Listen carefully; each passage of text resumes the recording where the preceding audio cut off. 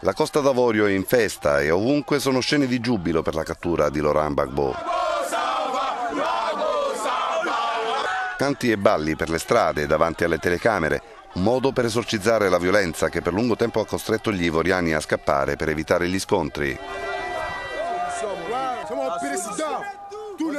Ah, vraiment, c'est une joie vraiment immense. È una gioia immensa. Dopo dieci anni di crisi, di immobilismo, di mancato sviluppo, dobbiamo dire grazie a Ouattara e ringraziare Dio. Ah, on peut, on peut, on peut crier de joie. Vraiment, on remercie.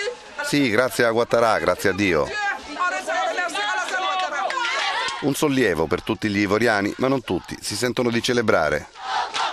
Per fare terra bruciata attorno a Bagbo, il presidente eletto Ouattara ha prorogato il coprifuoco dalle 6 della sera alle 6 del mattino fino a mercoledì prossimo.